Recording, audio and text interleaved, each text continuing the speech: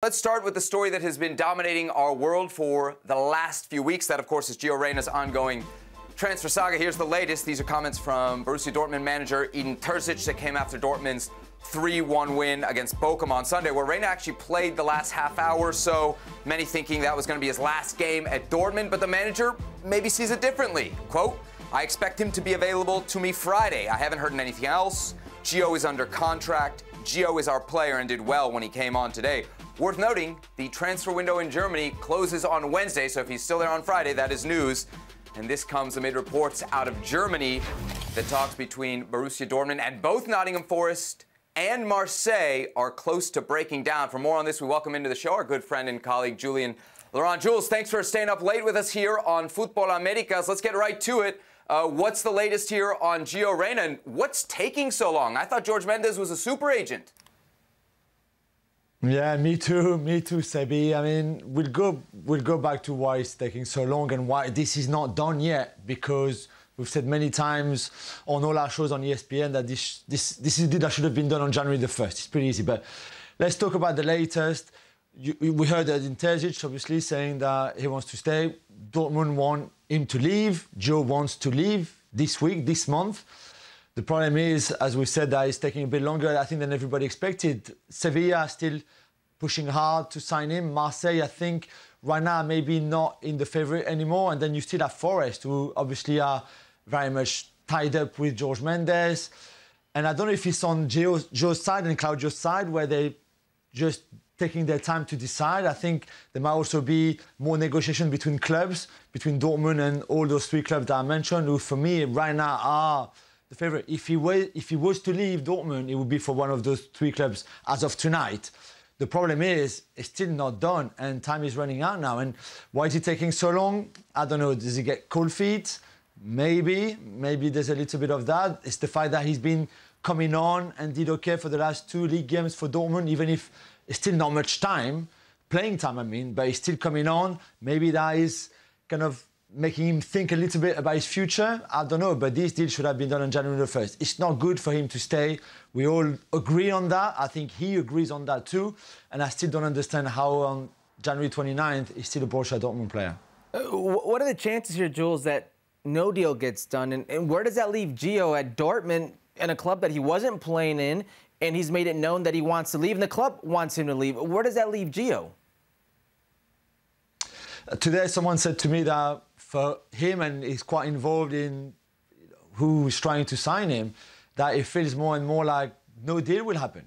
So that he will mm. stay at Dortmund, which I think would be terrible for Gio, terrible for the US national team, of course, because they need him to play regularly and more and regain all the confidence and start putting on good numbers in terms of goals and assists and all of that. And but if that was the case, I don't know. I think in a way he will be a a super sub. Is that enough at his age? No. We've said many times, we've showed the stats, he played less than 300 minutes. This season in the Bundesliga, he's got one star. This is, this is ter just terrible. He needs to go out and play somewhere and enjoy his football again. And at Dortmund, they have so many players in his positions. The competition is so hard. They just obviously signed Jadon Sancho not that long ago. That I'm just I just don't think there's a future for him there. That's why I really don't understand and I can't work out why right now he's still a Dortmund player. But it feels more and more likely now, somehow, because we were convinced 10 days ago he would go. Even last week, we reported on ESPN that this is it, it's getting closer now. We've got a bit of an agreement there and there. And yet, six days later, he's still a Borussia Dortmund player. So, I don't know. The next two days obviously will be key because, as Sebi said, Wednesday is the deadline anyway. So we will know very, very soon. But I, I really don't think it's a good news if he stays.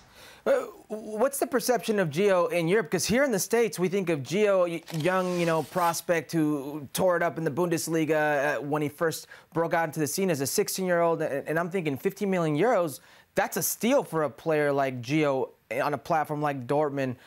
What's going on here? Should U.S. fans be worried? What's the perception in Europe? What's the word around why this isn't happening?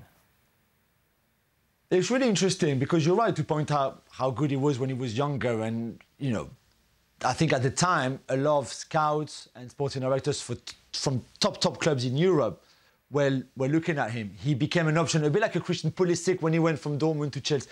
That kind of move was very available to Gio, I think. And then the injuries, the fact that he lost confidence, I think what happened in Qatar didn't help him at all in terms of his reputation in a way and becoming a bit of a problem in the dressing room at times, which you know how it works in football. It's very easy. You get that reputation, people call, speak to each other, call each other. How is he? What is he like? What does he do? What, and then and then suddenly people say, well, yeah, that's not for us. Not now. Let's see if he matures. All, all those kind of things that we've heard for uh, many other players. And right now, I feel the clubs that are keen on him because they believe there's a talent there, if he gets injury free, of course, at the level, at the, just the, the tier below the top, top European clubs. That's why we're talking about Marseille, Sevilla, you know, Forest, those kind of clubs. They, they're good clubs, and some of them, Marseille, Sevilla, played in Europe regularly, usually, that kind of stuff. But not, not anymore the likes of Chelsea and United, maybe, and PSG, and even Bayern. You know, a player like Gio Reyna at Dortmund, making doing really well there, he will become a Bayern Munich player. Some, you know, this is the pathway in Germany anyway. If you do well in that league outside of Bayern, Bayern sign you. But right now, those clubs are not looking at him anymore for all those reasons, which, in a way, will take away a little bit of the pressure, I think, on Gio, on Gio's shoulders. And yet, if he if he goes to a, a, a middle tier club and smashes it again, then that opportunity will come again to go to a top club. But right now, those top clubs, I think the, the ship has sailed a little bit for Gio Reyna. All right, I feel like we've uh, taken a pretty negative turn here. There is still time left in the transfer window. Uh, Jules, let's focus in on the three clubs that are being discussed Nottingham Forest, uh, Marseille, and Sevilla. I wonder which of those three you think is the best fit. Because I know Herc thinks that Gio's walking into the Nottingham Forest side. I happen to think Morgan Gibbs White is a pretty good player, and if he doesn't move, that's, that's tough competition for that number 10 role. I'm very interested in your perspective on Marseille because of the teams linked here. Not only are they the only one that's not in a relegation fight, they're chasing Champions League and they're in Europe. And I'll be honest, I don't watch a ton of Marseille. I know you do.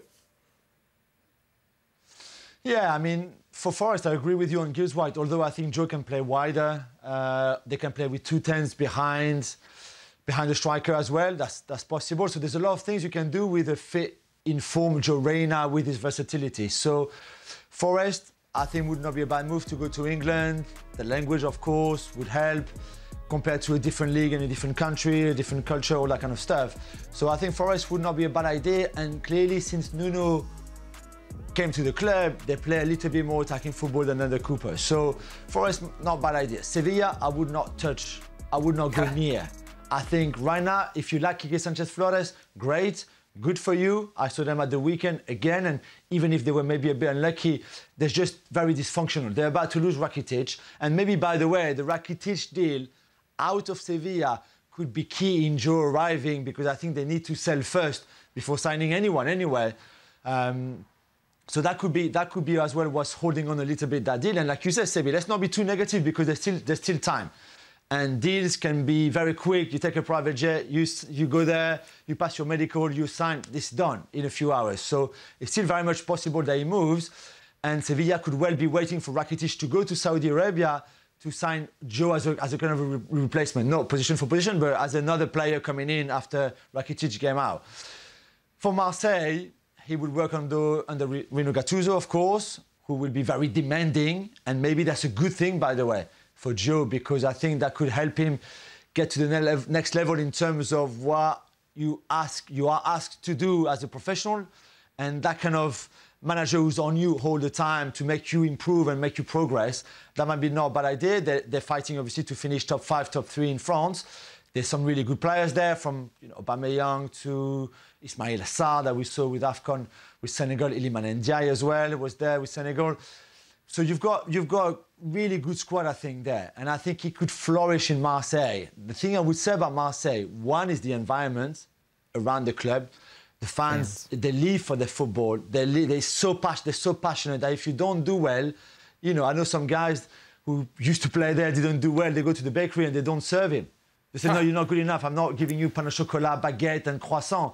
I'm not saying that this will happen to you. I'm just saying it's a very difficult environment if you don't do well. Mm. And also, there's a lot of players in his position. Again, as a 10, there's Harit, wild players. We talked about Sa, the Sa, Ndiaye, Correa, Joaquin Correa is, is a, is, a, Marseille player too, although he's injured right now. So there's a lot of competition. But really, if you aim for those clubs, competition will always be there, and that, that can't that you can't fear competition if you want to play in those clubs anyway.